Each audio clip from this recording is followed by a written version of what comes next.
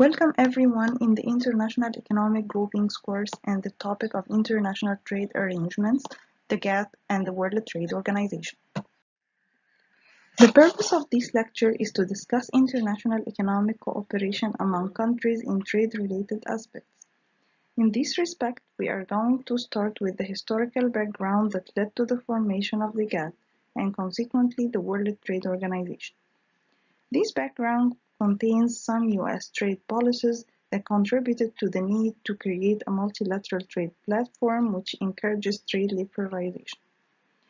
To this end, we are going to discuss the Smoot-Hawley Act of 1930, which supported trade protectionism, in addition to the Reciprocal Trade Agreement Act, which favored trade liberalization and created the Most Favored Nations clause that laid the foundation of the GATT principles. Second, we are going to discuss the formation of the GATT. To achieve this goal, a discussion of the GATT members, principles, exceptions, multilateral trade rounds that eventually led to the formation of the WTO is needed. Finally, we are going to discuss the formation of the WTO and how it differs from the GATT, its role in settling trade disputes among countries, and its impact on the environment. Now, let's start the discussion by the historical background. The Great Depression played a key role in sparking the need for trade liberalization. It was initiated by a collapse of the US stock market in late 1929. Then the world eco uh, economy experienced a slowdown afterwards.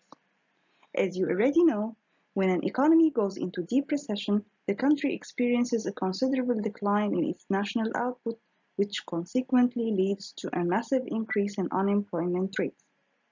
And this is exactly what happened in USA.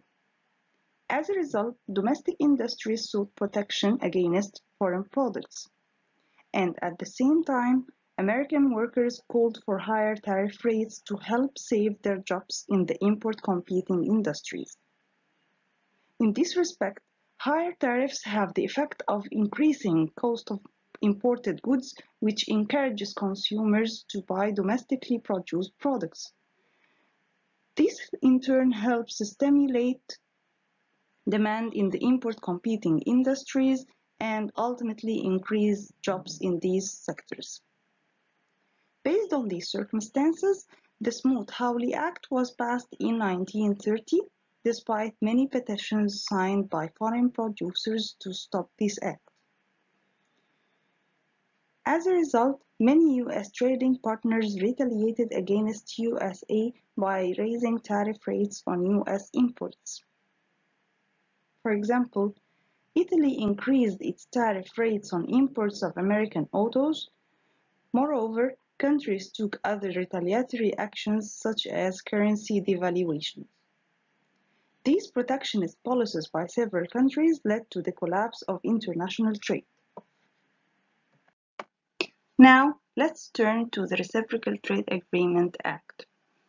As U.S. trade collapsed with many countries and President Roosevelt won the presidential elections, more liberal trade policies were pursued. In 1934, Congress passed the Reciprocal Trade Agreement Act. This act transferred authority from Congress to the President in shaping trade policies. This procedure helped considering the national interest instead of the policies pursued by the Congress which favor domestic import competing producers. At the same time, this act was characterized by, by two attributes.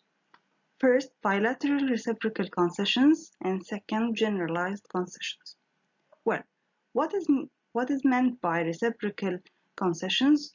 Under this act, the President was authorized to negotiate bilateral tariff reduction agreements with other countries without congressional approval. However, in order for a country to enjoy the tariff reduction offered by USA, it must reduce its tariff tariffs on its US imports. This means that I would lower my tariff barriers towards your products only if you agree to lower yours against my products. This is something of mutual benefit. The second feature was providing generalized tariff reduction. This was done by creating a clause known as Most Favored Nation, or MFN. It is an agreement between two countries to apply tariffs to each other as low as those applied to any other nation having MFN status. Okay, but also what does this really mean? Well, according to this law, if two countries negotiate reciprocal tariff reduction, this preferential treatment must be automatically extended to any other country having MFN status.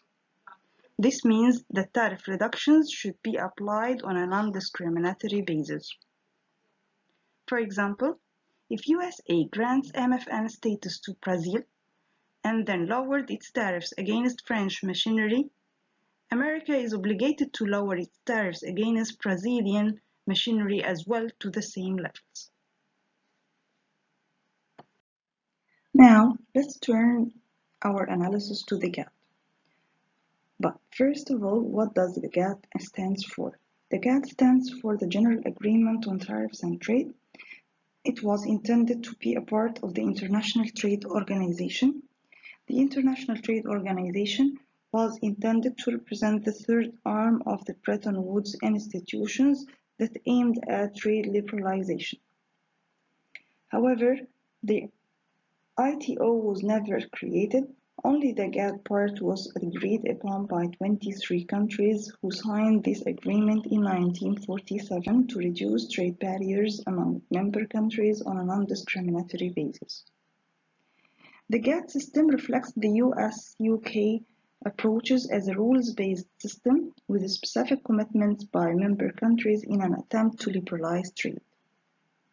It focused on trade in goods only. It did not deal with trade in services or investment aspects or labor mobility. The overriding principle of the GATT was to ensure non-discriminatory trade of, treatment of traded goods. But what does non-discriminatory treatment means? This reflects the commitment of member countries that their trade policies do not treat any member country's goods more or less favorably than another members and other members. Also, domestic regulations of member countries do not treat their domestic goods more favorably than imported goods. Therefore, the non-discrimination principle involved two pillars, the most favored nation and national treatment.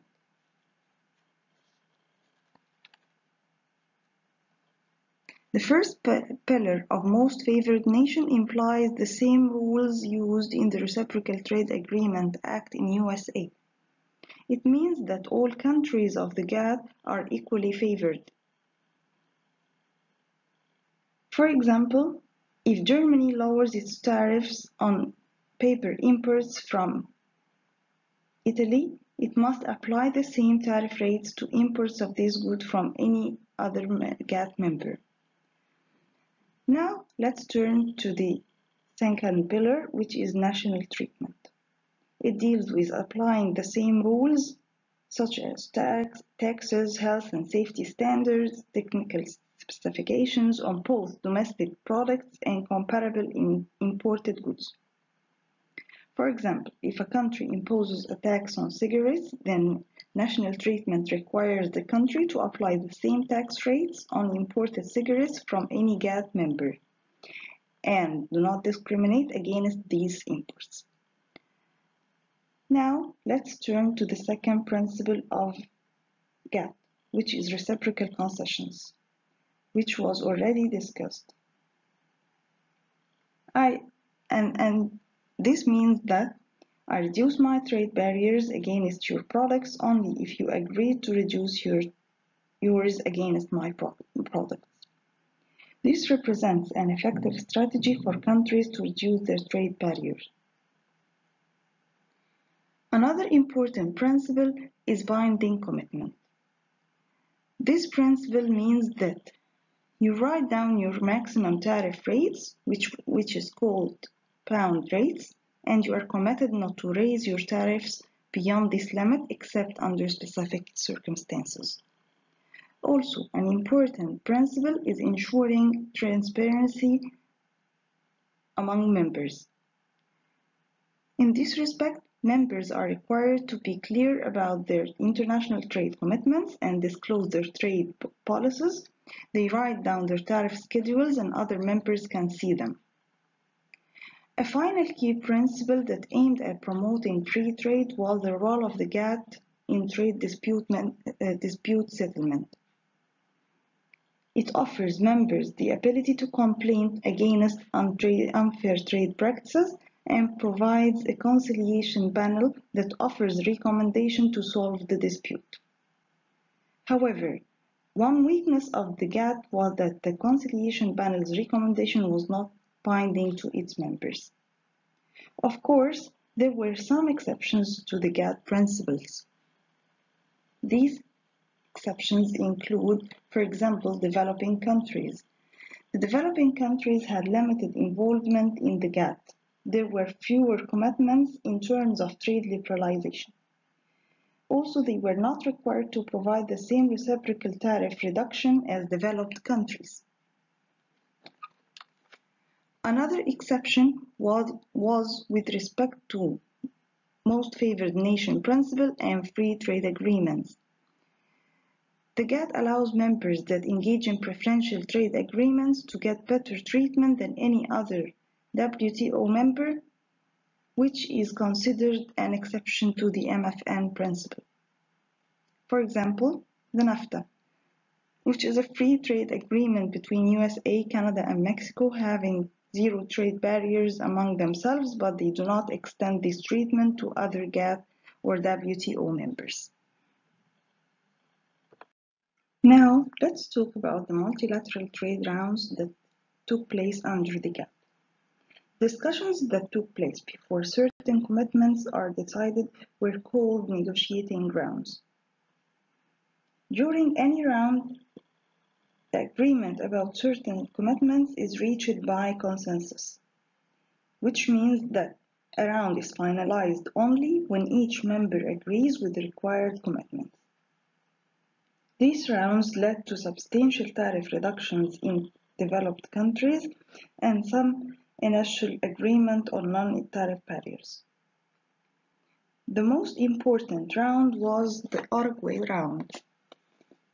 It focused on important aspects such as non-tariff barriers, intellectual property rights, and trade in services and agriculture. A critical achievement by the Uruguay round was the creation of the WTO, or the World Trade Organization, which transformed the GATT from an informal agreement into a formal international institution. At this point, we are going to talk about the World Trade Organization or the WTO in more details. The World Trade Organization was created in 1995 and it is headquartered in Geneva, Switzerland. Today, the WTO consists of 167 members accounting for more than 97% of world trade. To discuss the, the WTO in more details, there is an important question that arises. How the WTO differs from the GATT. The WTO differs from the GATT in many respects. First of all, the WTO is a formal international institution, not just an agreement as the GATT. Although the WTO sticks to the same GATT principles, it has a wider scope. It extended trade liberalization to include trade in services, intellectual property rights, and investment. Also, the WTO liberalized trade in certain sensitive areas such as agriculture and textiles. Remember, the WTO also has a large database and require its members to update various trade measures and statistics and report them to the WTO.